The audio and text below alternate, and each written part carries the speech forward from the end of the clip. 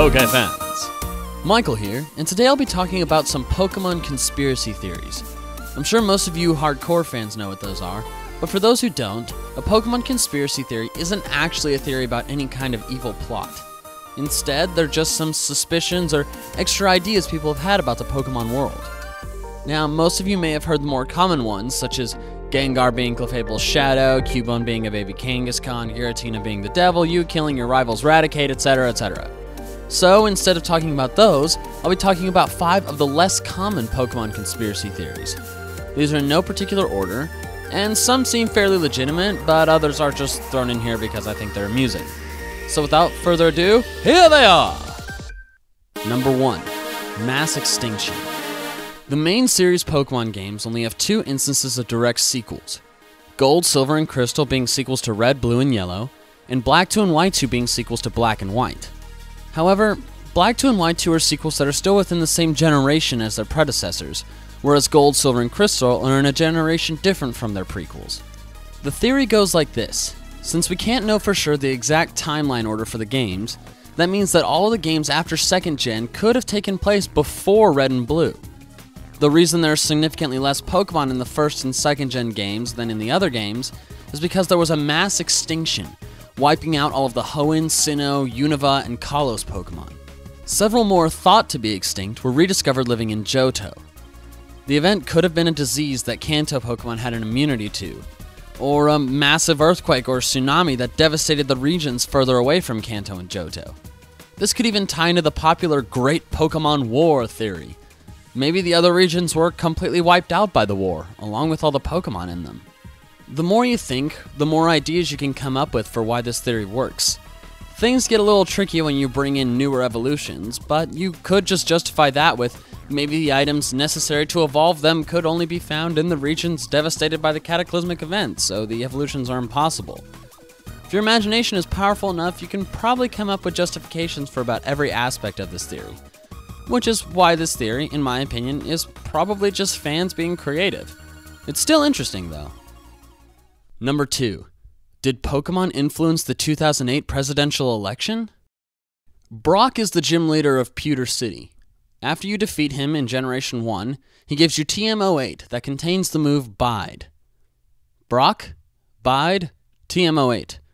Barack, Biden, 2008. Coincidence? Actually, Bide was TM34 in Gen 1, so that part is BS, but still. Number 3. September 11th reference.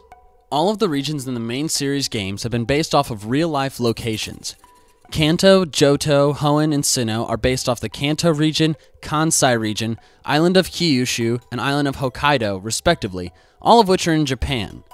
Kalos, as most of you know, is based off France. And as you probably know, Unova is based off of New York City. The central peninsula of Unova is supposed to be the island of Manhattan.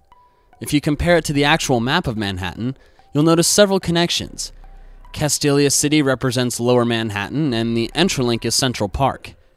But if you look directly where Ground Zero should be, you'll find the Desert Resort, a barren wasteland nearly void of civilization. A place, according to the anime, that contains a meteorite that could have caused the formation of the desert. Did the game designers decide to put this desert here as a tame way to depict such a terrible and emotionally sensitive event in place? Definitely seems possible. Number 4. Name mix up. Look at this picture. Just. Just look at it. Everything seems alright, doesn't it? Do you notice anything strange or out of the ordinary or incorrect, maybe? No, everything seems just fine, doesn't it? Hmm. The names in this picture are actually flipped, but they seem to make more sense when flipped, don't they? Maybe there was a mix up in the original production of the first games. Seems possible. Number 5. N is a Zoroark. Zoroark is a 5th generation Pokemon that can shapeshift, similarly to Ditto, except its attacks and stats don't change. Could N simply be a Zoroark shapeshifting? The first thing you notice is that they have similar hairstyles. N also has the ability to communicate with Pokemon, the only instance of this found anywhere in the Pokemon universe. In Black 2 and White 2, if you use the memory link, a Zoroark in the X Team Plasma member base shows you a flashback where N appears. How would Zoroark know about that flashback if it isn't present in the flashback? Every other flashback story is told by someone who was there. Also, a Zoroark leads you into N's castle, but when you enter, the Zoroark is gone.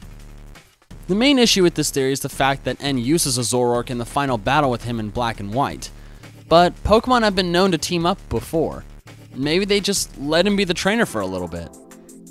Also, the fact that N can speak perfect English also causes problems with this theory. But nevertheless, you can't deny that those two have similarities. Alright, that's the last one. What'd you think of these conspiracy theories? They're interesting to think about, aren't they? And some of them actually seem somewhat legitimate. What do you think of them? Do you think any of them could possibly be real? Let me know in the comments below. Thanks for watching, everyone, and don't forget, gotta catch them all. Check out my other Pokemon videos and my Raccoon Man videos. And also, like us on Facebook. And don't forget to subscribe, or I'll use Arceus to pass judgment on you. Mwah!